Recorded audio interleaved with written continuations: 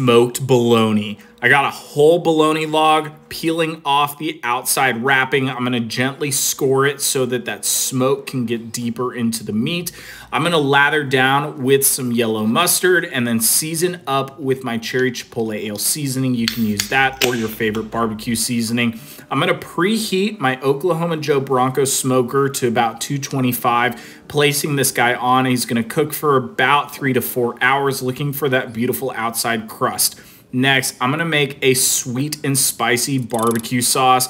Mix that all together. Once the bologna and the sauce is ready to go, pull it off. I'm gonna let that bologna rest. Slicing into him, look how awesome that looks. I'm pairing him up with a bunch of awesome sides, serving with that barbecue sauce. This was so freaking delicious. Add it onto a sandwich, whatever you want. You can find this whole recipe at overthefirecooking.com or link below. Cheers!